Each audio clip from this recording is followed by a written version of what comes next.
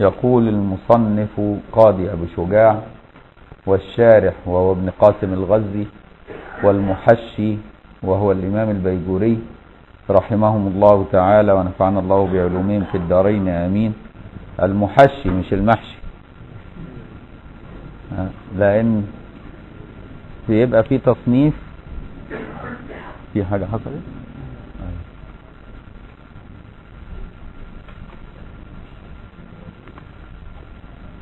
يبقى في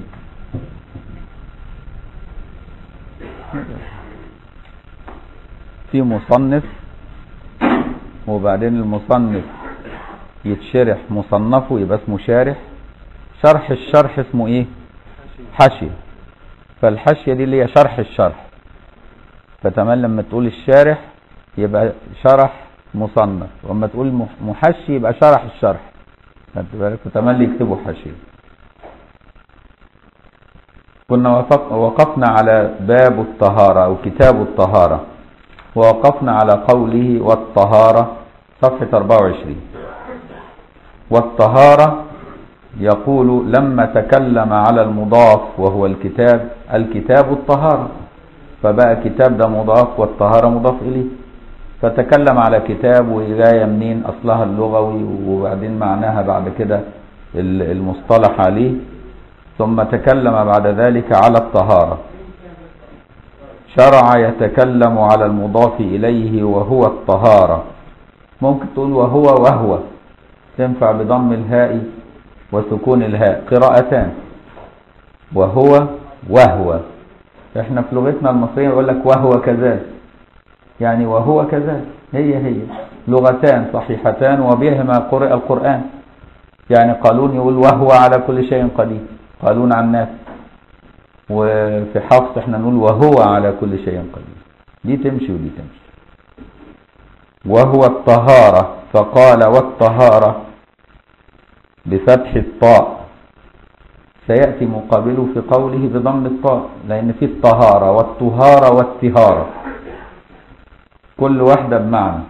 الطهارة بالفتح غير الطهارة بالضم غير الطهارة بالكسر. النظافة. يبقى الطهارة هي النظافة. يبقى النظافة دي شيء مطلوب لأن الطهارة شيء مطلوب. وعشان كده إحنا قلنا لما يقولوا لنا البنطلون ده ديرتي هيلخبطوا لنا لغتنا. هيخلوا هيخلوا البنطلون الجديد اللي انت بتتشيك بيه وتبقى مبسوط بيه اسمه قذر.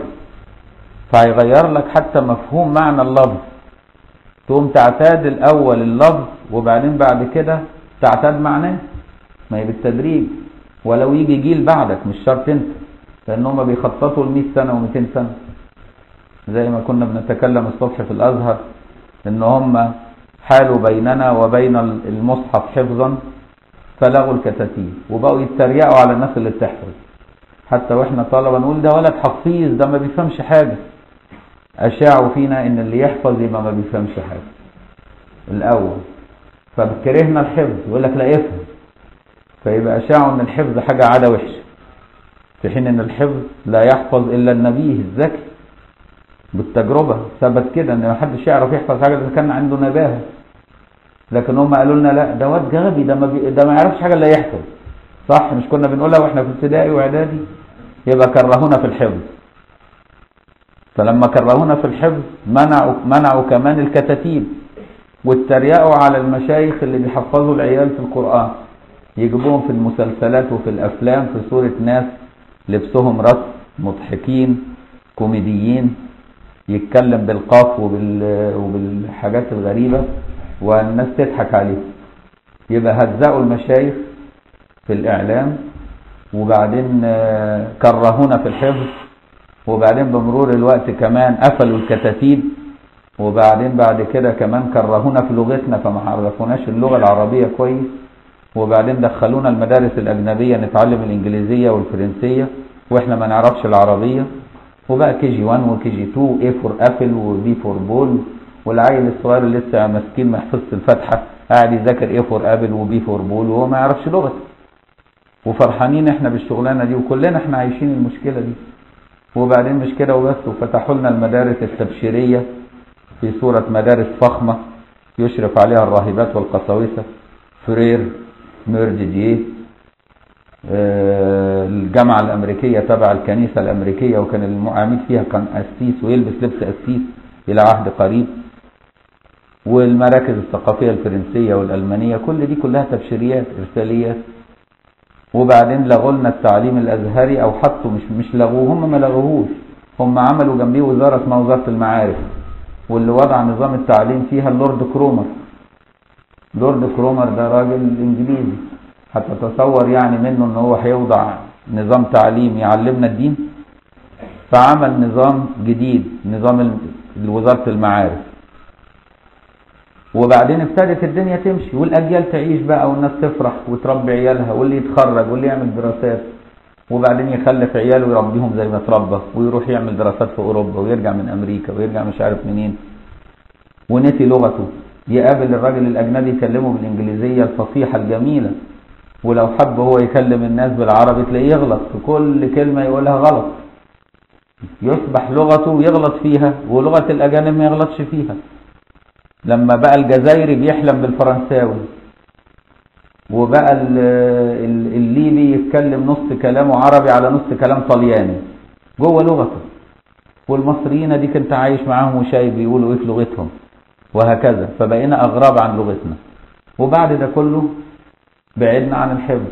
وبعدين عابوا في الكتب اللي بنقرأ فيها دلوقتي. يقول لك الكتب الصفراء. انت هتقرا في الكتب الصفراء؟ يبقى كرهونا في التراث بتاعنا القديم. اللي هو بيربطنا. كل دي كانت مؤامرة كبيرة. اتعملت في أول القرن من 100 سنة والوقت بيحصدوا ثمارها ويطالبوا الجيل الغلبان اللي هو ما يعرفش لغته اللي مش حافظ القرآن اللي ما يعرفش مقتضيات لغته كويس يقولوا له تعالى حاورنا بقى حوار الأديان. وعايزين بقى تجدد لنا الخطاب الديني. شفت اللعبة ما, ما يقدروش يقولوها من 100 سنة. حوار أديان من 100 سنة ما يقدروش لأنه كانوا الناس حافظة القرآن ما يقدرش يلعب في مخه. وكانت الناس فاهمة مقتضيات لغتها ما يعرفش يلعب مع جدك ما يقدرش يلعب معاه لكن يعرف يلعب معاك انت لأن انت اتربيت في المدارس بتاعتهم وردعوك حضارتهم وبعدوك عن لغتك وكانوا بيحفظونا إحنا زمان أيام عبد الناصر الميثاق وبعد كده ما بقوش يحفظوا الناس حاجة خالص لا الميثاق ولا غيره وبقت الحكاية ماشية بطريقة غريبة لدرجة إن الواحد يخرج معاه الدكتوراه وما يعرفش يقرأ صفحة قرآن. وإحنا شفنا ناس مشايخ الأزهر ما جالوسوش على. على على ناس يعلموهم القرآن. فصاروا العلماء معاهم العالمية ولو قرا القرآن تستعجب إن القراية دي طالعة من الشيخ. ما يعرفش يقرأ القرآن مع إنه حافظ القرآن. لأنه ما ما قراش بالتلاوة على الشيخ. فصارت الحكاية المسألة بقت مؤامرة كبيرة. وعلشان كده هم الوقت بيقول لك علشان بيقول لك سميه درسي مش مشكلة. انت عادي تقول درسي لكن بعد 100 سنة بقى بقت القذارة هي الشياكة. بقت كلمة القذارة تطابق الشياكة والنظافة فغير مفهوم معنى الطهارة إلى معنى القذارة. شفت لعب فيها إزاي؟ غيرها بس بالراحة. مش هيغيرها في مخك انت. انت بس هيستعملك آلة تستعمل اللفظ. دول معناه. يجي جيل بعد كده يستعمل اللفظ بمعناه. يجي جيل ثالث يتقلب المعنى. وبعدين لما يجي الجيل الثالث يتقلب معاه المعنى يقول له إحنا عايزين بقى نتحاور ونتكلم. إيه الإسلام اللي انت بتتكلم فيه ده؟ وإيه؟ الصلاة بمعنى الدعاء. لو دعيت كده تبقى انت بتصلي. ملهاش لازمة بقى تحبكها يعني وتروح تصلي الظهر. والزكاة بمعنى الطهارة وبمعنى النماء. يبقى انت لو استثمرت أموالك يبقى بتنميها يبقى ده زكاة. واستثمار المال ممكن عن طريق إنك أنت تقرض واحد وبتاع يقوم يعلموا الربا على إنه زكاة. لدرجة إن أنا مرة زرت أوغندا سنة 87 فلقيت بعض القبائل هناك عندهم الزواج اسمه الزنا. الزواج يعني إن الرجل يبقى ليه علاقة بامرأة بعقد عندهم اسمها الزنا. فغيروا الصورة الصحيحة لللفظ القبيح. واخد بالك إزاي؟ فتصور انت هذه القبيلة وكبائل قبائل مسلمة بس ما تعرفش حاجة عن الإسلام. هم كان أجدادهم زمان مسلمين. من 200 سنة. وجت أجيال بعد كده بسبب الاستعمار هناك فغيروا لهم لفظ, لفظ لغتهم. فبقى الزنا عندهم يقتضي بمعنى الزواج عندنا.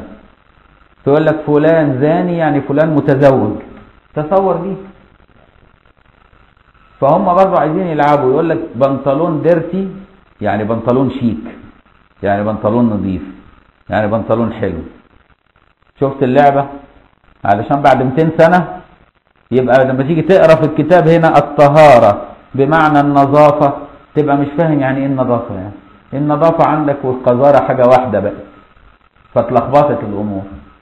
فدي لعب كبيرة. هو مش عايز المسلم يغير اسمه مسلم لا يفضل مسلم بس يبقى كافر. يفضل اسمه مسلم بس يبقى كافر. ما هو المفهوم الأمريكاني للإسلام يكفر.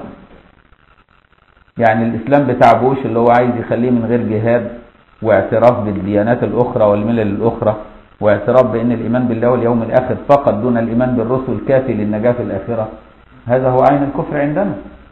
هو عايز يخلي الإسلام كده دلوقتي ولدرجة إن هم بيفكروا يطبعوا طبعات جديدة للمصحف ويشيلوا منها بعض الصور. اللي مانعهم إن في أجيال حافظه القرآن. اللي مانعهم الوقت إن في أجيال لسه حافظه القرآن. ما يقدروش يلعبوا. طيب يمنع بقى حفظ القرآن؟ 200 300 سنة. تيجي أجيال مش حافظه القرآن. اطبع لهم اللي أنت عايزه قول لهم هو ده المصحف مش هيكتشف إيه اللي ناقص لأنه أصلا مش حافظ. فالحكاية لعبة. لعبة بيبنوا ثمارها بعد مئات السنين. ما تفرقش معاهم. هم قاعدين. ما تفرقش معاهم لكنها مخطط. فأنت لازم تكون حريص على هذا. وعشان كده يعني أنا حرصت إننا نقرأ من الكتب الأمهات دي عشان نرجع نربط نفسنا بتراثنا عشان نعرف نفهم لغتنا تاني زي ما كانت. مش إن أنا أجي ألخص لك الفقه كده في كلمتين زي زي ميكي ميكي جيب. ما هو الناس كلها عايزة تاخد العلم في ميكي جيب كده. حتى لما قاعد يتسلى عايز برضه يتسلى بحاجة ملخصة. حتى التسلية عايزة ملخصة. حتى لما يجي ياكل عايزه سندوتش. كله سريع. ما ينفعش. لازم بقى بالراحة. اهدى شوية. اهدى شوية بقى وتعلم بالراحة. ونظم مخك. وبالراحة. انت بتقعد ست سنين في ابتدائي عشان تاخد ابتدائية. وابتدائية ولا حاجة. واعدادية بتلاقي العيل ده مع ولا حاجة. وتلاقي نفسك خدت بكالوريوس وانت برضه لسه ولا حاجة. وإحنا جربنا الحكاية دي كلنا وتخرجنا من الجامعة ويتقال لنا دكاترة وإحنا ما نعرفش حاجة عن أي حاجة. نظام تعليم مش ما فيهوش بركة. ما فيهوش وكان زمان أيام أبويا و... و... وأجدادكم للي سنه أصغر مني يعني كان تلاقي ناظر مدرسته مع ابتدائية بس. وناظر المدرسة وتلاقي راجل عنده ثقافة عالية وحافظ نص القرآن. هو مع ابتدائية. يعني أنا شفت ناظر مدرسة أبويا. كان راجل كبير. أبويا عرفني بيه. بيقول لي تصدق ده معاه الابتدائيه تقعد مع الراجل ده مفيش حادثة تمر قدامه إلا يجيب لك بيت شعر عليه. يعني راجل عنده علم ثقافة عالية شاف وحافظ القرآن حفظ متين بإلقاء جميل. ومعاه الابتدائيه وإحنا معانا الدكتوراهات ومش عارف ما كناش ربعه. ولا معلومات ربعه. ليه؟ اتعلمنا على نظام اللورد كرومر. هو اتعلم على نظام مين؟ الإمام القرافي والإمام الزبيدي والإمام ابن حجر. ففي بركة في سلسلة علم في بركة ونور. وإحنا سلسلة فيها ضلمة. خدت بالك؟ فسلسلة مظلمه مهما نبذل مجهود ما ما تثمرش. فعشان كده إحنا عايزين نرجع تاني لتراثنا. وبعدين نحول هذا التراث إلى إلى معنى متعلق بواقعنا علشان نترجمه على الواقع بتاعنا. يقوم ينصلح حالنا. والأمور اللي جدت بعد كده يبقى عندنا قواعد قعدناها في اذهاننا من خلال هذا التراث نعرف نطلع منها حكم الله فيما يجد. مش يضحكوا علينا يقول لك تعالى حاورني وتعالى اعملني ويفرض علينا دين جديد. الكفار يفرضوا علينا دين جديد. وإحنا المفروض اننا نفهمهم إيه هو الدين. هم جايين يفهمونا. تصور الآية اتقلبت. فيقول لك هنا الطهارة بفتح الطاء هي النظافة. لغة معناها النظافة معناها في اللغة كده. أي من الأقذار ولو طاهرة. يبقى يبقى مش كل قذر نجس خد بالك. إن إن النجاسة هو مستقذر يمنع من صحة الصلاة حيث لا مرخص. ده تعريف النجاسة كده. يبقى النجاسة مستقذر بس مش مستقذر أي مستقذر. ده مستقذر مخصوص يمنع من صحة الصلاة. يبقى النجاسة نعرفها منين؟ نعرفها بالشرع. لأن مش كل مستقذر. المستقذر بيتعرف بإيه؟ بال- بالذوق العام. لكن النجاسة تتعرف بالإيه؟ بالشرع. أنت ريقك ده عند غيرك مستقذر. يعني لما تحب تهزأ واحد تتف عليه. يزعل. لأن البصاق مستقذر. لكنه طاهر. البصاق مستقذر لكنه طاهر طاهر بالشرع. واخد بالك إزاي؟ العرق مستقذر حط إيدك تحت اباط واحد كده في الحر ويبقى بينغ مية تلاقي نفسك قرفت عايز تغسل إيدك صح؟ مستقذر لكنه طاهر. لو صلى بثوبه وهو عرقان كده صلاته صحيحة. يبقى ليس كل مستقذر نجس. يبقى المستقذر هو كل ما تعافه النفس سواء كان طاهرا أو كان نجسا. خدت بالك إزاي؟ ده من الناحية اللغوية.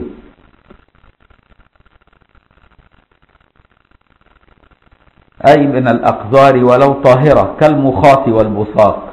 يبقى المخاط والبصاق طاهر لكنه مستقذر خدت بالك؟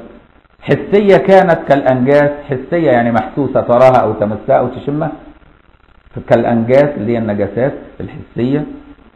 زي البول البراز الدم القيح الصديد إفرازات المعدة لما تطلع. المية اللي بتبقى محيطة بالجنين اللي يسموها يقول لك القرن طش بينزل مع الولادة. كان بعض الأطباء ما يعرفوش إن دي نجاسة. لأنه ما درس في الكلية النجاسة ولا الطهارة ودرس الطب بطريقة الأنجلو ساكسون فما عرفش إن لما القرن يطش وينزل المية اللي حوالين الجنين دي وهو بيولد الست وترتش على بنطلونه تبقى نجسته ما يعرفش. يفتكرها إنها طاهرة. ما يقول لك دي مية ده الجنين عايم فيه. واخد بالك؟ لك دي نظيفه هي ميه نظيفه ده لو فيها ميكروب فنقول له لا ده النجاسة مش معناها إن هي معقمة أو غير معقمة. يعني أنت لو خدت البول وحطيته في الاوتوكلاف وعقمته برضه نجس مع إنه ما فيهوش ميكروب. هو متصور إن النجاسة يعني تبقى يعني فيها ميكروب تبقى حاجة وحشة كده وإن الحاجة الثانية اللي ما فيهاش ميكروب معقمة كده تبقى نظيفة. لا مش كده. دي تبقى معقمة طبا لكنها طب ما البول الطبيعي بول الإنسان الطبيعي ما فيهوش ميكروب. ده لو في ميكروب الكلية تبوظ. ده انت اما بتحلل ويطلعوا ان في ميكروب ولا صديد يقول لك الحق اتعالج لحسن الكلية تجرى لها حاجة. يعني البول الطبيعي والعصارة المرارية الطبيعية في الإنسان الطبيعي ما فيهاش ميكروب. نظيفة نظيفة جدا لكنها نجس شرعا وطبا نظيفة. معقمة؟ فالطب حاجة حكم الطب حاجة وحكم الشرع حاجة فلازم الواحد يميز.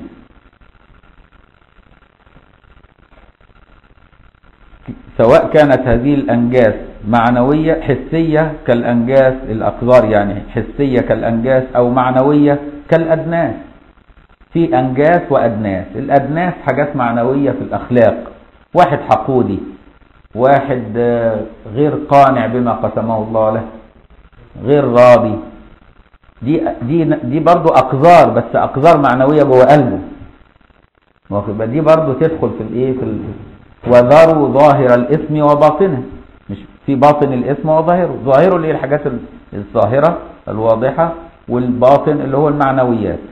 واحد كذاب واحد آه، يحب يأذي الناس يحب يطلع على على أكتاف الناس يحب يتهم الناس بالباطل. كل دي أدناس برضه. أخلاق قذرة بس معنوية. مش مقصدها في كتب الفقه لكن التبري منها من كتب التصوف. والتربية والتهذيب. لكن كتب الفقه تناول الأمور الحسية. أو معنوية كالأدناس وهي العيوب من الحقد والحسد وغيرهما. وأما شرعا يبقى الطهارة لها معنى شرعي ومعنى لغوي. لغة هي النظافة. واخد بالك؟ والنظافة إنك أنت تبعد عن الأقذار. كل مستقذر. دي النظافة. أما شرعا مقابل لقوله لغة. يبقى كل كلمة لها معنى لغوي ثم جاء الشرع بمعنى آخر ليه. وأما الطهارة عند أهل الشرع وهم الفقهاء وكان الأولى أن يقول وأما اصطلاحا لأن هذا اصطلاح لهم وأجيب عنه بأنهم قد يعبرون عن اتفاق الفقهاء بقولهم شرعا لأنهم حملة الشرع كما تقدم التنبيه عليه فتنبه. ففيها تفاسير كثيرة. اختلفوا في تفسير الطهارة العلماء من الناحية الشرعية. تفسيرات كثيرة. الفاء واقعة في جواب أما. وأما اصطلاحا ففيها. وأما اصطلاحا ففيها. فدخلت في جواب أما. واقعة في جواب أما. والجار والمجرور اللي هي ففيها خبر مقدم. ففيها تفاسير كثيرة. هي تفاسير كثيرة فيها. بس إحنا قلنا تفاسير دي مبتدأ ما ينفعش تبتدي بالنكرة. لا يجوز الابتداء بالنكرة. فراح مأخره يفضل مبتدأ بس نأخره شوية ونقدم الخبر. نقول ففيها تفاسير. يبقى من مسوغات الابتداء بالنكرة من مسوغات تقديم الجر والمجرور على المبتدأ أو تقديم الخبر على المبتدأ أن يكون المبتدأ نكره خدت بالك؟ وعلشان كده ده سبب إن هو قدم ففيه. لأن الخبر المبتدأ فيها نكرة. ففيها تفاسير كثيرة. وتفاسير بمنع الصرف لصيغة منتهى الجموع. مبتدأ مؤخر والجملة جواب أما فهي كمهما كما قال ابن مالك في في بيت في الألفية. والتفاسير بمعنى التعاريف لكن بعضها باعتبار الفعل وبعضها باعتبار الوصف المترتب على الفعل. وهو المقصود أصله. يعني التفاسير باعتبار فعل التفسير نفسه وباعتبار الفعل المترتب على وباعتبار المصدر المترتب على الفعل اللي هو المفهوم. أما نتكلم على تفاسير جاية من تفسير جاية من الفعل التفسير نفسه وقد يعني يطلق عليها معنى المراد من المصدر نفسه وهو الفهم المترتب عليه. أدي معنى كلامه. يعني شوف إزاي بيحاول يعمق لك مفهومك من اللغة من الكلمة عشان تبقى راجل عميق. أصل العلم أنواع كتيرة في علم بسيط وعلم عميق وعلم نافع. العلم البسيط اللي هو يعرفه كل واحد واحد زي الواحد يساوي اثنين كل واحد عارف. المية تطفئ النار. علم بسيط كل الناس عارفين مش عايز مدرسة يعني. والعلم العميق شوية إن المية عبارة عن ذرتين هيدروجين مع ذرة أكسجين مرتبط متحدين ببعض. وإن الأكسجين ده غاز والهيدروجين ده غاز ارتبطوا ببعض بتركيب معين كونوا سائل. والسائل هي مرحلة أخرى غير المرحلة الغازية والعجيب إن غاز قابل للاشتعال وغاز ثاني مشتعل غاز مساعد على الاشتعال والثاني مشتعل. يتحدوا مع بعض يعملوا حاجة تطفي النار. مش حاجة غريبة دي؟ ودي قدرة الله في المية. فده اسمه علم عميق. لما نقول الماء هي H2O يعني يد 2 ألف. واخد بالك إزاي؟ ده علم عميق. علم نوراني نقول سبحان الله. بقى الأكسجين اللي يساعد على الاشتعال مع هيدروجين مشتعل يديني مية تطفي النار. سبحان الله الفاعل المختار. بقى علم نافع. يبقى يبقى العلم درجات. في ناس تنشغل بالعلم العميق عن العلم النافع زي علماء أوروبا. انشغلوا بعلم عميق لكن لم يوصلهم هذا العلم العميق إلى الله. فحجبوا بالعلم عن المعلوم. إنما علماء المسلمين وصلوا من خلال العلم إلى العلم النافع الموصل إلى الله. فلما يجي يوصل للمسألة يقول في الآخر يا سبحان الله ما يقولهاش الكافر مع إن الكافر مغموس لشوشته في العلم برضه بعمق لكنه ما عندوش البصيرة اللي بيطلع منها العلم النوراني. فهو الأول بيعلمك العلم العميق. إيه الفرق بين بين الكلمة اللي جاية في صيغة مصدر بمعنى الفعل ولا هي بمعنى مفهوم الفعل أو ثمرة الفعل؟ تحتمل دي وتحتمل. هو عايز يعلمك العلم العميق. مش تقول إيه السفسطه دي يا عم ما تدخلنا بقى. طهارة إحنا عايزين نتوضى ونروح بقى. ما ينفعش. الحكاية دي ما ينفعش. الكلام ده لما تبقى في كي جي 1 وفي كي جي 2 وفي ابتدائي. أنت دلوقتي بقيت راجل كبير. لازم تتعلم علم عميق. لأن أنت خلاص ما أنت بتتوضى. وأنت مش مش تصلي معايا العشاء ما أنت متوضى هو أنت ناقص تعرف الوضوء؟ والمية ما هي في الحنفية افتحها تلاقي المية في الحنفية. إيه المشكلة يعني؟ المشكلة اننا عايزين نتعلم علم عميق يوصلنا إلى الله. بس لاننا بقينا في سن محتاجين نركز مش مش ناخدها ونجري. ده دي الحكاية. كل ده أنا بقول لك علشان تصبر عليا. لأن أنا حاسس ان في ناس مش هتصبر عليا.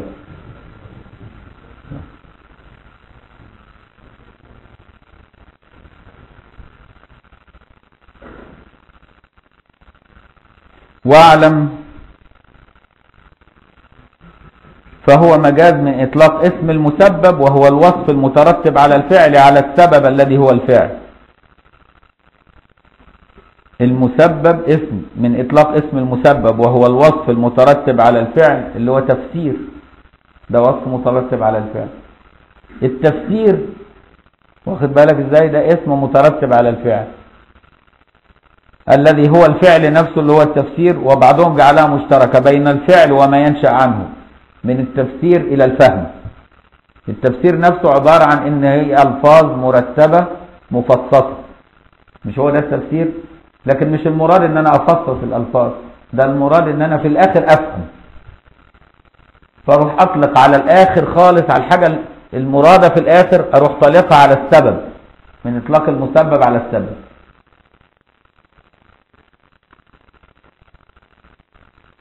وبعضهم جعلها مشتركة بين الفعل وما ينشأ عنه فتكون حقيقة فيهما. واعلم أنهم قسموا الطهارة أنهم يعني الفقهاء قسموا الطهارة إلى عينية وحكمية. في طهارة اسمها طهارة عينية وطهارة اسمها حكمية. ده عند الفقهاء كده. طهارة عينية وطهارة حكمية. فالعينية هي التي لم تجاوز محل حلول موجبها كطهارة النجاسة فإنها لا تتجاوز أي لا تتعدى المحل الذي حل فيه موجبه وهو النجاسة إذ لا يجب غسل غير محله. يعني إيه؟ الطهارة العينية هي طهارة النجاسة نفسها لأن النجاسة أنت بتشوفها بعينك صح؟ تشوف مثلا ثوب عليه نقطة براز ثوب عليه نقطة دم ثوب عليه نقطة بول متلون أصفر لكن بول الشتاء ما بيبقاش أصفر يبقى زي المية ما يبانش. خدت بالك إزاي؟ لكن البول اللي متلون ده بيتشاف فيبقى إيه دي اسمها نجاسة عينية. لما تيجي تطهر هذه النجاسة العينية الطهارة بتتناول الجزء اللي لمسته النجاسة بس. صح؟ ما تتعداش لغيرها. يعني تتناول محلها بس. يبقى لما يجي يقع في ثوبي نقطة دم على الكم ده مش محتاج إن أنا أغسل كل القميص. أغسل الحتة اللي صابها دي. يبقى اسمها دي نجاسة عينية لا تتعدى طهارتها عن المحل الذي إيه وجبت فيه. آدي معنى كلام الشيخ. إنما في طهارة حكمية تانية اللي هي الوضوء. الوضوء ده أنت لما بتيجي تتبول ده اسمه حدث. نقض وضوءك. طب إيه علاقة أغسل إيدي ووشي وأنا اتبولت والبول خرج من إيه؟ من مخرج البول. فهمت إزاي؟ أنا إيه علاقة وشي بمخرج البول أو مخرج البراز ملوش علاقة فهمت إزاي؟ فيبقى هنا في حاجة اسمها حاجة حكمية يعني حكما بس أنت ما تشوفهاش. يعني ما تشوفش حاجة حصلت في الوجه واليدين والرأس بعد التبول. عشان كده محتاج تغسلهم وتمسحهم. فيبقى دي اسمها إيه؟ طهارة حكمية اللي هي الوضوء والغسل. لما واحد يصب بجنابة أو امرأة حاضت فطهرت من حيضها إيه اللي بيبان على جسمها يعني ولا بيبان على جسم الراجل الجنب؟ علشان تقول ده لازم يغسل جسمه. ما يبانش عليه حاجة. بخلاف النجاسة تبان على الموضع اللي حلت فيه. يبقى النجاسة لما تقع في محل يسموها نجاسة حكمية والطهارة المتعلقة بها يسموها طهارة عينية نجاسة عينية والطهارة المتعلقة بها طهارة عينية برضه لأنها بتشيل عينها. بتشيل عينها ليه؟ يعني تشيل مكانها. لا تلاقي لونها ولا طعمها ولا جرمها. لا ريح ولا ولا طعم ولا جرم. يعني إذا كانت ليها سمك يبقى أنت شلت عينها. لكن مش محتاج إن أنا أتجاوز المحل بتاعها وأبعد عنه فهمت المعنى كلام الشيخ؟ نقراه تاني بالراحة وشوف بنفهم كلام الشيخ. واعلم أنهم قسموا الطهارة إلى عينية وحكمية. فالعينية هي التي لم تجاوز محل حلول موجبها كطهارة النجاسة. فإنها لا تتجاوز أي لا تتعدى المحل الذي حل فيه موجبها. وهو النجاسة. إذ لا يجب غسل غير محله. يبقى لا يجب غسل إلا محل النجاسة بس. أنت لما لما الإنسان بيتبرز بيغسل محل خروج البراز بس ولا بيغسل جسمه كله؟ يبقى دي اسمها إزالة نجاسة. برضه نوع من الطهارة. الاستنجاء ده نوع من الطهارة. بس طهارة اسمها طهارة عينية وهي إزالة عين النجاسة. طب ولما بيتوضا برضه طهارة بس طهارة حكمية. ليه؟ لأنه بيزيل الحدث الحكمي اللي هو أمر اعتباري لا يرى بالعين من أعضاء لم يحل عليها نجاسة أصلا. فهمت إزاي؟ علشان كده ده الفرق بين الاثنين والحكمية هي التي جاوزت محل حلول موجبها. كالوضوء فإنه تجاوز أي تعدى المحل الذي حل فيه موجبها وهو خروج شيء من أحد السبيلين مثلا. إذ لم يقتصر على غسل ذلك المحل بل وجب غسل الأعضاء المعروفة. فهمت كلام الشيخ؟ سهل إزاي؟ حلو. يبقى أنت فهمت الطهارة بمعنى أعمق شوية أهو. إن الطهارة دي أنواع كتيرة. ده في طهارة متعلقة بالمحل وطهارة أخرى متعلقة بغير محل موجبه واخد بالك؟ مع إن أنت كنت عايشها طول عمرك بس ما كنتش مقسمها في ذهنك بهذا الترتيب. يبقى هو عايز يرتب لك ذهنك عشان تعرف ترتب الأمور لأن الذهن المرتب ده لما يفاجأ بأمر جديد جد يعرف يطلع حكم الله منه. لأنه بقى ذهن مرتب بقى ذهن فقيه. فهمت؟ إزاي هو عايز يربي فيك العقلية الإنسان الفقيه اللي بيه بعد كده لما تطرأ عليه أمور يبقى مرتب الأمور. يعرف يستدل بعد كده على حكم الله في أمور لم ينص عليه.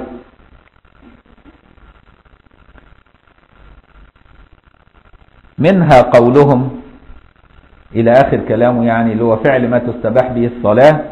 أي من تلك التفاسير تفاسير الطهارة قولهم إلى آخره.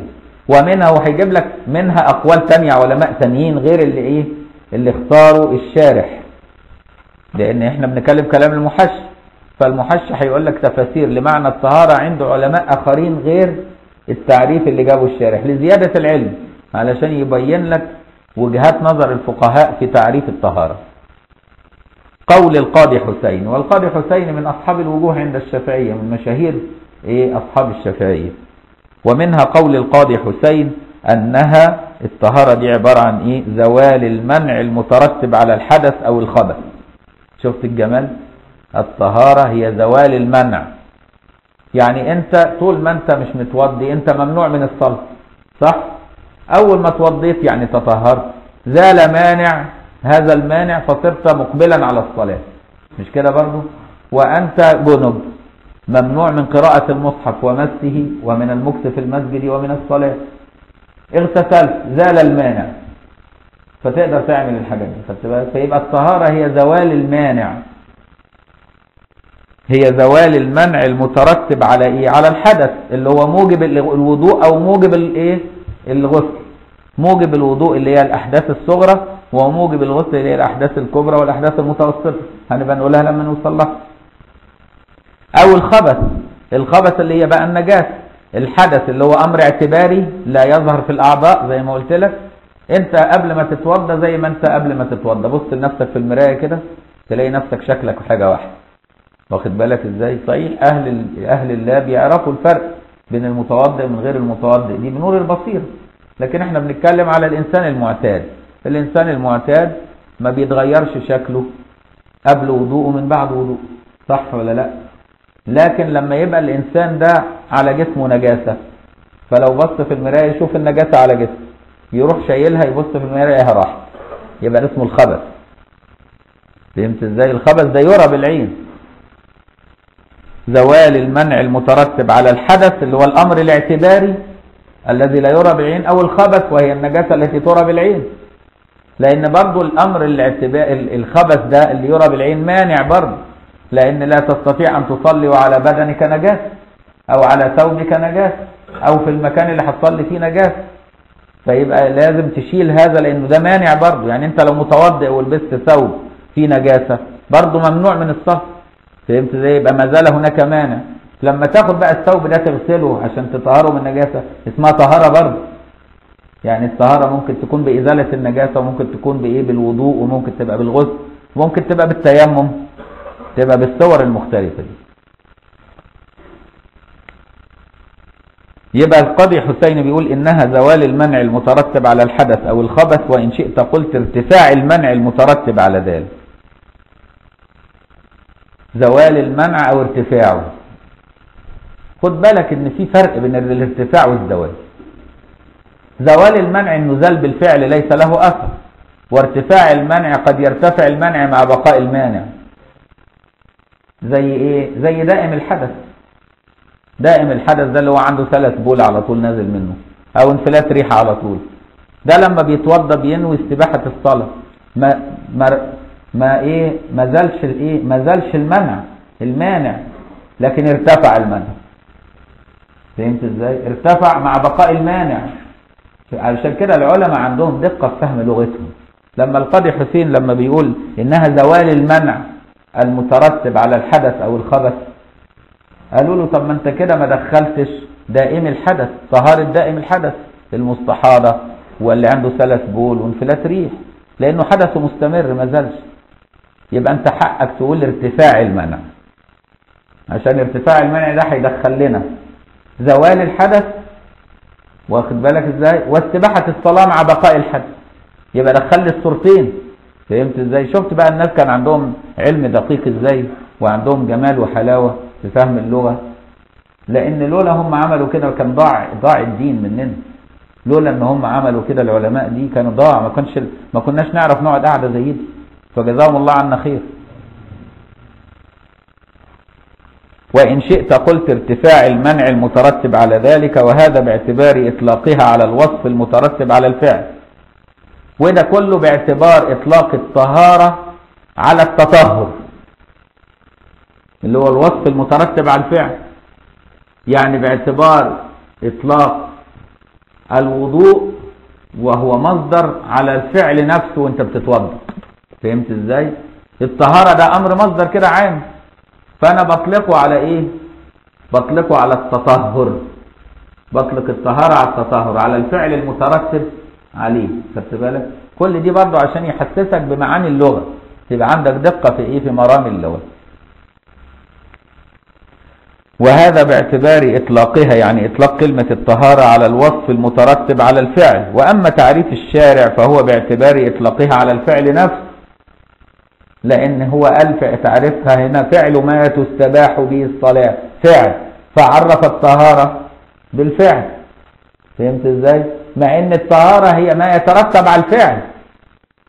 يعني ما يترتب على إني أمسك المية كده وأجريها على أعضائي. اللي هو الفعل الغسل نفسه بيترتب عليه الطهارة. فراح مسمي الغسل نفسه اللي هو الفعل نفسه طهارة. فهمت المعنى؟ الدقة؟ يعني عايز يبين لك. فهنا القاضي حسين عرفها من وجهة نظر والشارع عرفها من وجهة نظر الفعل نفسه. القاضي عرفها من وجهة ما يترتب على الفعل وهي زوال المانع أو ارتفاعه والشارح عرفها بالفعل نفسه. يبقى واحد عرفها بما يترتب على الفعل والتاني عرفها بالفعل نفسه. فهمت إزاي؟ فاهم اللفتة؟ طيب الحمد لله بالشفاء. وأما تعريف الشارح فهو باعتبار إطلاقها على الفعل وكل منهما خاص بالطهارة الواجبة دون المندوب.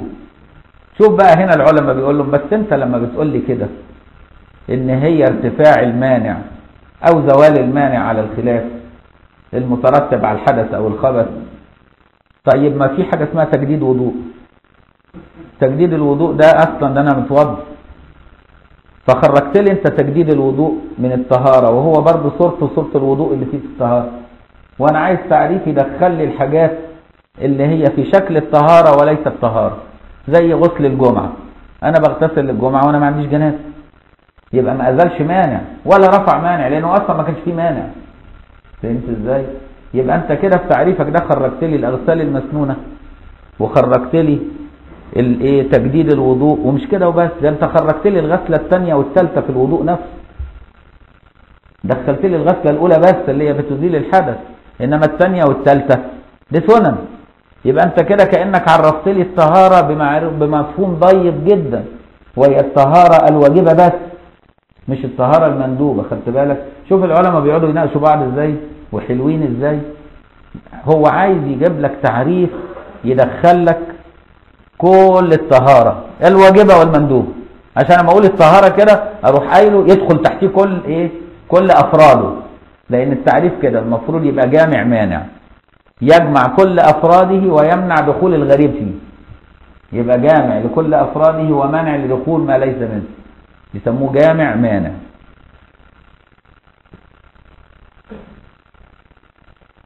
وعرفها الشيخ ابن حجر بتعريف يشمل الواجبة كالغسلة الأولى في طهارة الحدث والخبث والمندوبة كالأغسال المندوبة والوضوء المجدد والغسلة الثانية والثالثة فعرفها الإمام ابن حجر تعريف ثاني قال فيها إيه وهو أنها فعل ما تترتب عليه إباحة ولو من بعض الوجوه. فعل ما تترتب عليه إباحة ولو من بعض الوجوه يبقى كده عرف الواجبة صح؟ ما جابش المندوبة لسه ما هو ما خلص اسم.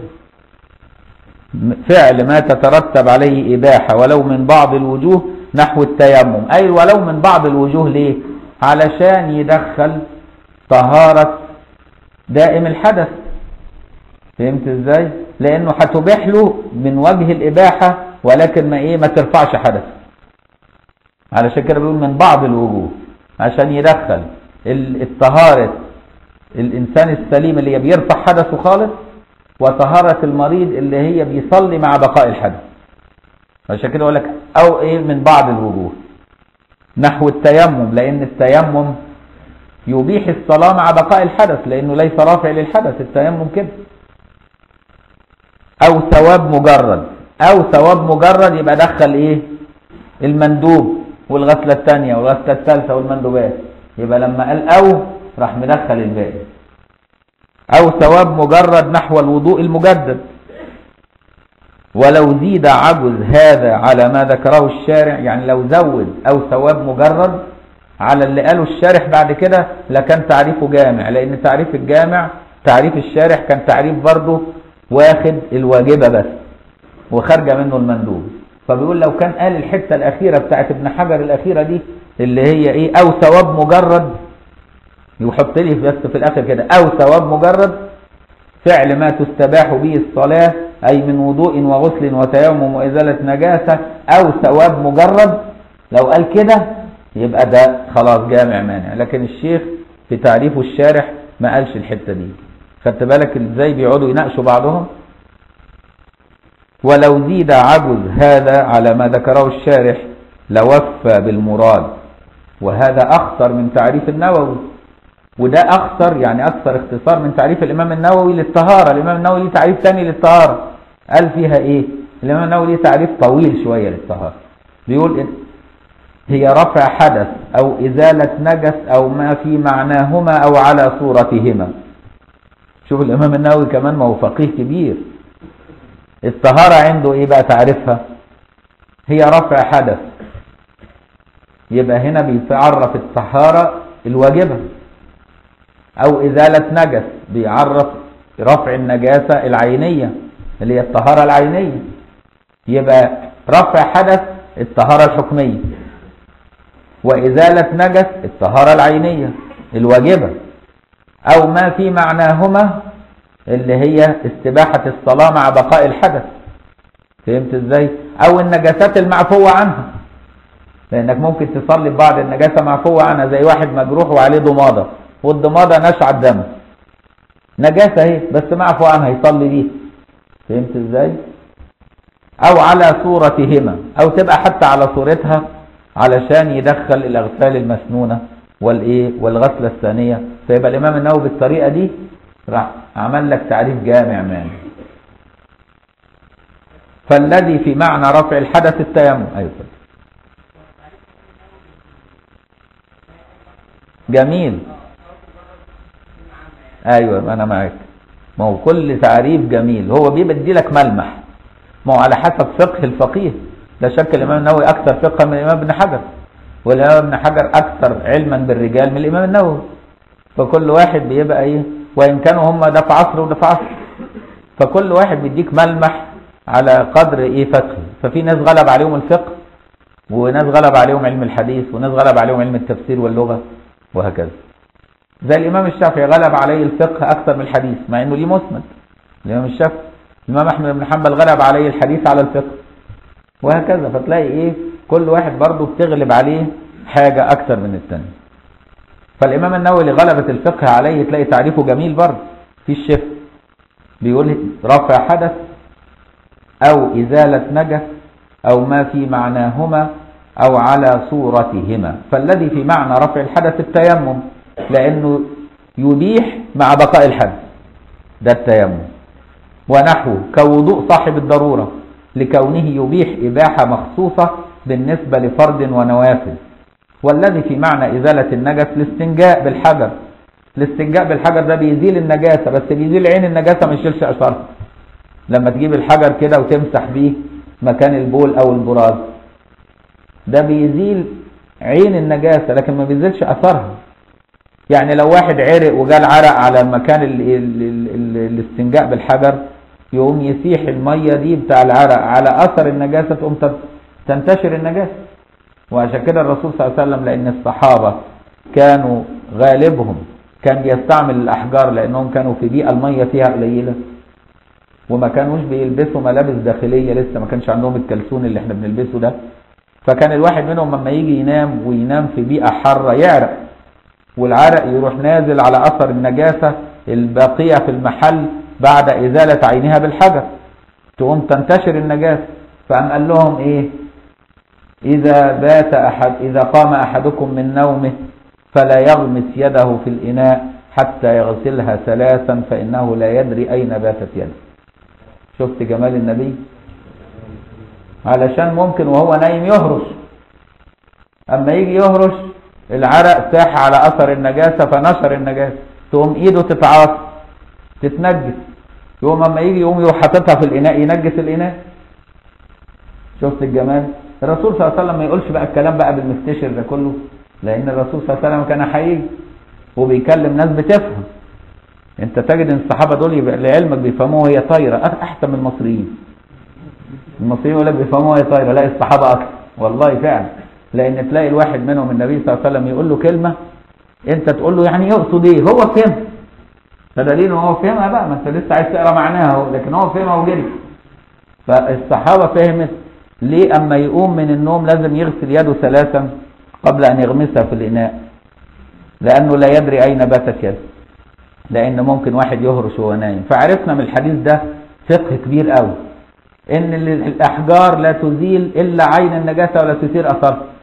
وإن لما يجي العرق يختلط على أثر النجاسة يقوم ينجسها. وإن الإيد لما تيجي عليها تتنجس. وإن الإيد لما تطرأ على الماء تنجسها يعني النجاسة لما تطرأ على الماء تنجسها وأن الماء لما يطرأ على النجاسة يزيلها. يعني ورود النجاسة على الماء تنجسه وورود الماء على النجاسة يزيلها. كل ده عرفناه من فقه الحديث. في فرق بين ورود الماء على النجاسة وورود النجاسة على الماء. انت هات البول ارميه في المية نجستها طب هات المية ارميها على البول تطهر. صح ولا لا؟ يبقى ورود النجاسة على الماء ينجس وورود الماء, الماء على النجاسة يزيل كل دي رحمات. وعرفنا منها قاعدة ثانية. تنزلة المظنة بمعنى المئنة.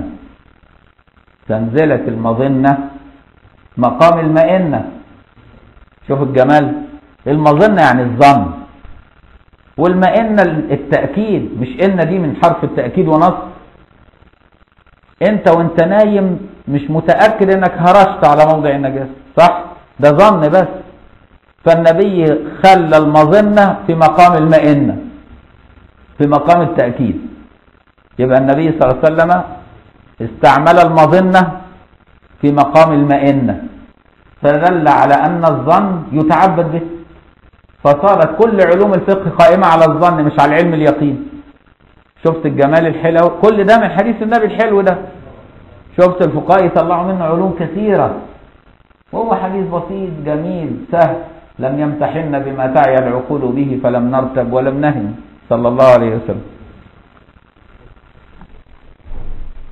وعلشان كده إحنا قلنا والذي في معنى إزالة النجاسة الاستنجاء. النجاسة الاستنجاء بالأحجار لا يزيل النجاسة. عشان كده بيقول لك أو ما في معناه. لأنه هو يزيل عينها ولا يزيل أثرها. ولكن الاستنجاء من الطهارة. فالإمام النووي عايز يدخله. فهمت إزاي؟ فقال أو ما في إيه؟ أو ما في معناه. لكونه يبيح إباحة مخصوصة بالنسبة لصلاة فاعله. والذي على صورة على صورة رفع الحدث واللي على صورة رفع الحدث أو على صورتهما. مش بيقول لك كده؟ يدخل فيه الاغسال المسنوء المندوبة والوضوء المجدد والغسله الثانية والثالثة وطهارة الحدث في طهارة الحدث. والذي على صورة إزالة النجس الغسله الثانية والثالثة من غسلات النجاسة. الغسله الثانية والثالثة من غسلات النجاسة. دي على صورة إزالة النجاسة لكن ما بتزالش نجاسة ما هي النجاسة اتشالت في الغسله الأولى. فهمت إزاي؟ لكن دي على صورتها. قال هو فعل ما تستباح به الصلاة؟ ده ده تعريف الطهارة عند الشارح. كل اللي فات ده تعريف الطهارة اللي نقل المحشي عن القاضي حسين وعن ابن حجر العسقلاني وعن الإمام النووي. هنا بقى الشارح اختار تعريف ثالث فهمت إزاي؟ قال إيه؟ قال فعل ما تستباح به الصلاة أي من وضوء وغسل وتيمم وإزالة نجاسة. فعل ما تستباح به الصلاة. يعني عرف الطهارة بالفعل نفسه مش بأثرها. الثاني عرف الطهارة بأثرها إن هي إزالة منع أو رفع حدث ده أثرها. لكن هو عرف الطهارة هنا بالفعل نفسه. خدت بالك؟ أي فعل الذي فعل الذي فعل ما تستباح عايز يقول لك فعل الذي. يعني ما دي موصولة. شال ما وحط لك الذي علشان يعرفك إن ما دي موصولة مش ما نافية ولا ما الحجازية اللي بمعنى ليس. واخد بالك؟ ولا ما الشرطية ما تفعله من خير يعلمه الله ما دي ما برضه واخد بالك إزاي؟ ولا هي ما الاستفهامية ولا هي ما أي ما من ما من ال من ال من دي. ده دي ما دي الموصولة في ما الموصولة فعايز يقول لك دي ما الموصولة اللي بمعنى الذي. فيقول لك أي فعل الذي أو شيء فعل شيء. يعني هي بمعنى الذي أو بمعنى شيء. فهمت إزاي؟ عايز يقول لك إن ما دي بمعنى الذي أو بمعنى شيء. أي فعل الذي أو شيء تستباح به الصلاة. فعل شيء تستباح به الصلاة. فعل ما تستباح يعني فعل شيء تستباح فيه الصلاة. أو فعل الذي تستباح فيه الصلاة. خدت بال حضرتك؟ فما اسم موصول أو نكرة موصوفة لو قال شيء تستباح به الصلاة بقت نكرة موصوفة ولو قال بمعنى الذي تبقى اسم موصول.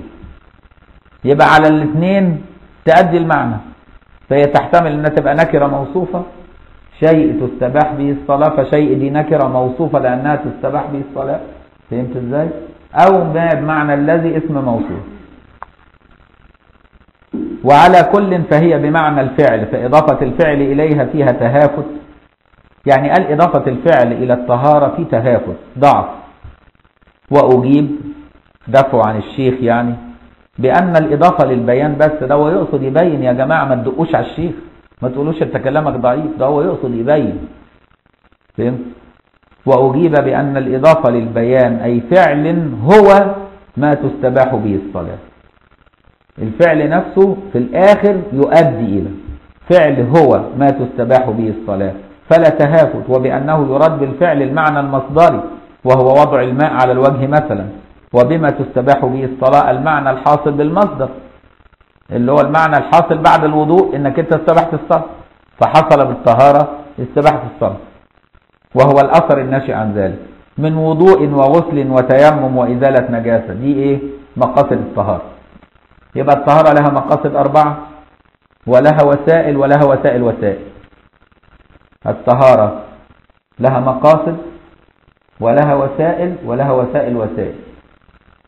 الطهارة مقصدها هو الوضوء أو الغسل أو التيمم أو إزالة النجاسة يبقى مقاصدها أربعة. مش هي الطهارة كده؟ هتخرج عن دول؟ ما تخرجش عن دول.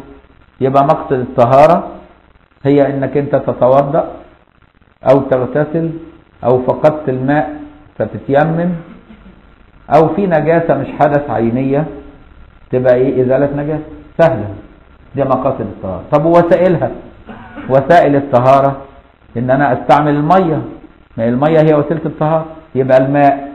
وسائل الطهارة الماء. طيب ما فيش مية التراب. يبقى وسيلة ثانية. واخد بالك؟ الحجر في الاستنجاء.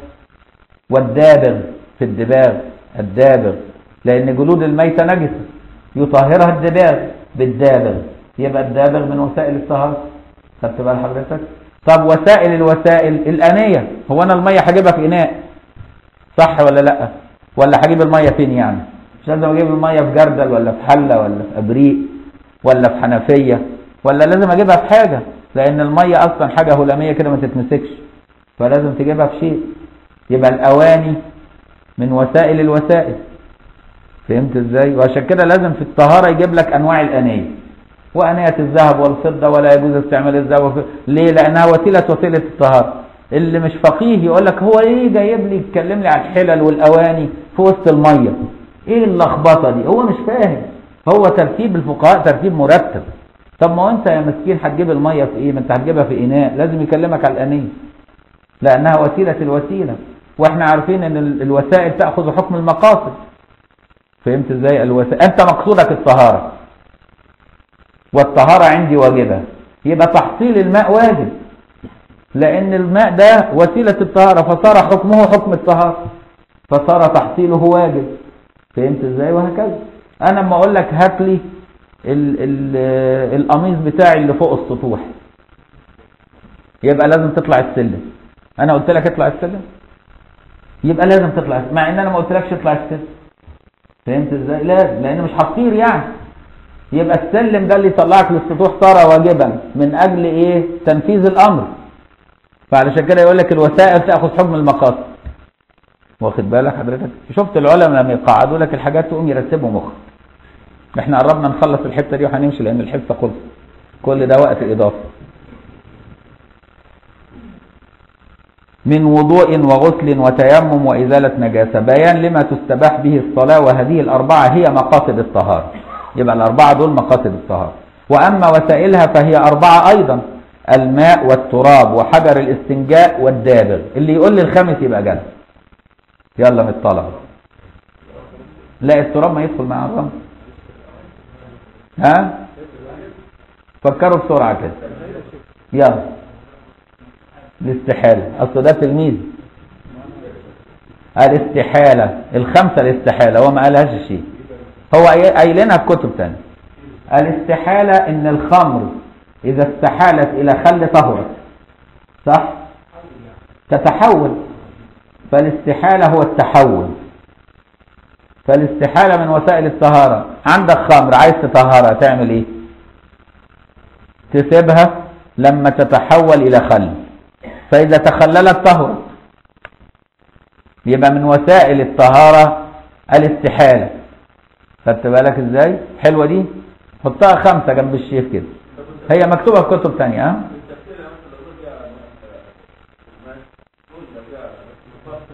لا لا التجفيف. لما تجف النجاسة لا تطهر.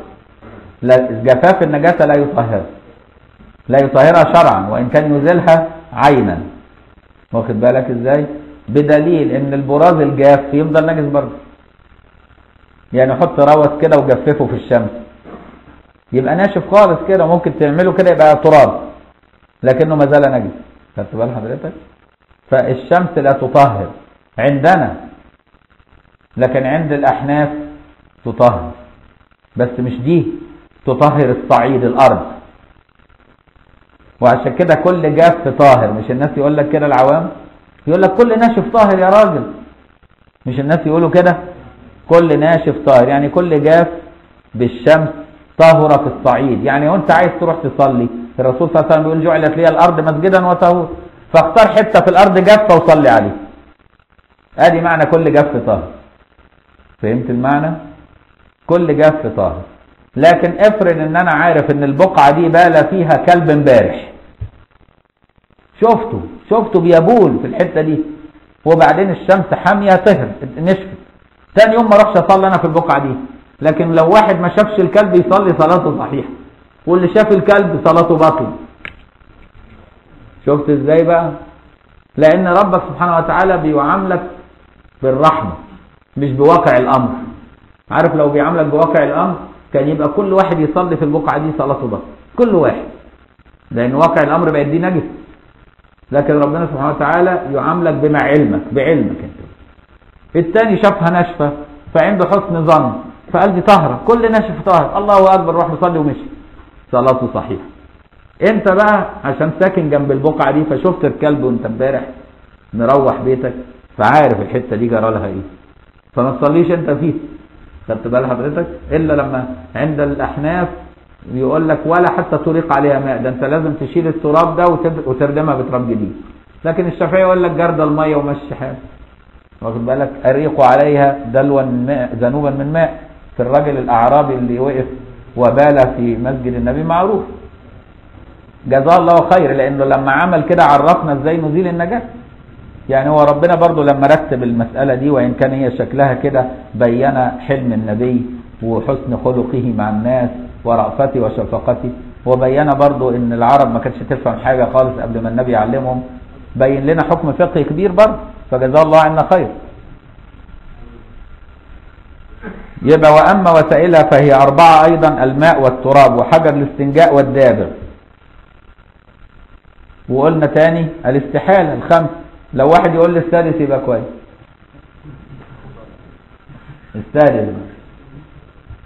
مم. لا ما هو التخلل إيه؟ الاستحالة خلاص الإكثار.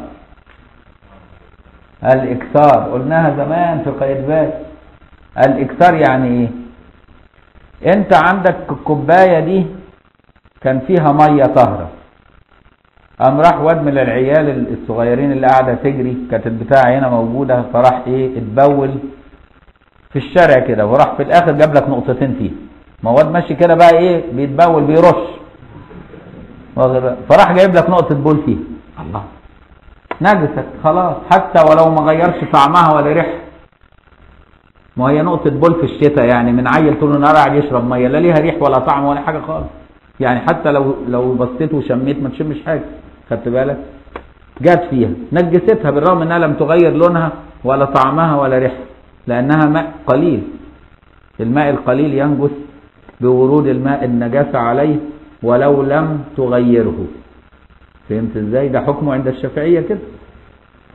تقوم تطهر ده المية دي إزاي؟ كبها في الترعة. طهر. أو زودها لحد ما توصل قلتين. يعني تفضل تزود تزود عليها لحد ما تملى بانيو.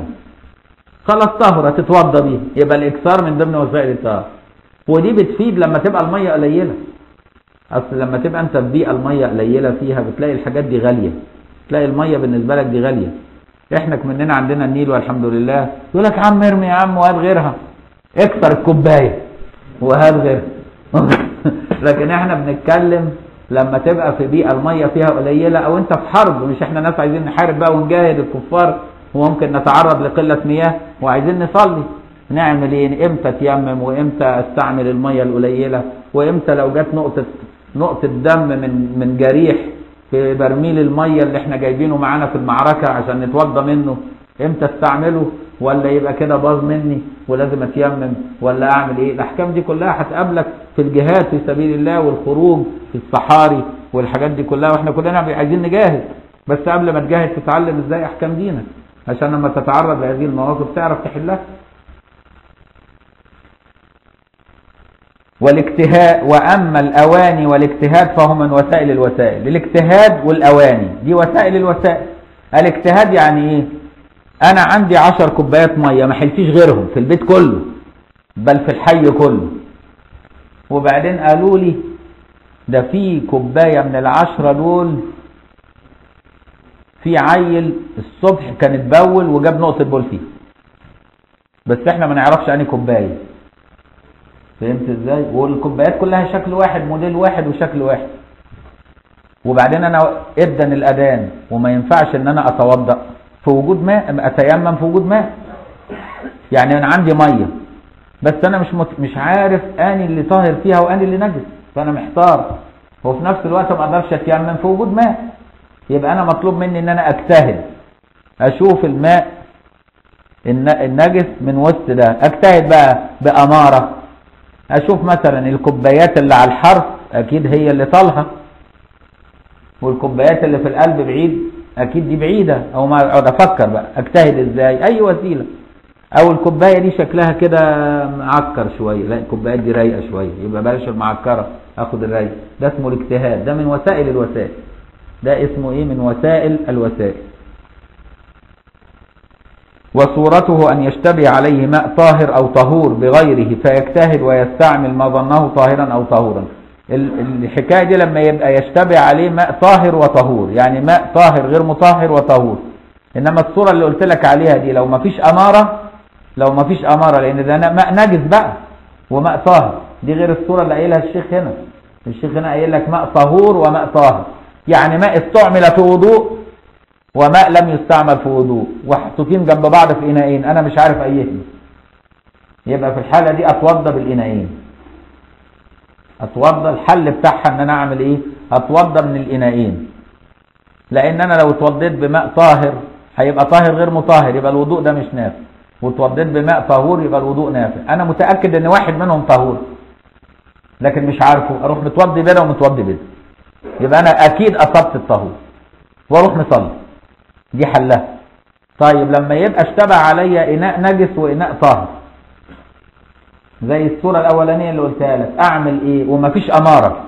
مفيش أي أمارة عارف أجيبها وأنا ما ينفعش أتيمم في وجود المية. أعمل إيه؟ أروح كابب ده على ده وأكبه وأقوم أتيمم. آه. عشان يبقى ما عنديش مية. هو ده الحل. أروح حاطط ده هو كابب ده على ده وأروح كابب وأقول منك لله يا اللي عملتها فيه أقول له قايم متوضى قايم متيمم. خدت بالك يبقى حل كده. عشان ما ينفعش تتيمم في وجود ماء. بس انت ما تعرفش عين الماء. الطاهر. تعمل إيه؟ يبقى خلاص. رق كله. يبقى دي ليها حل ودي ليها حل. دي اسمها وسائل الوسائل.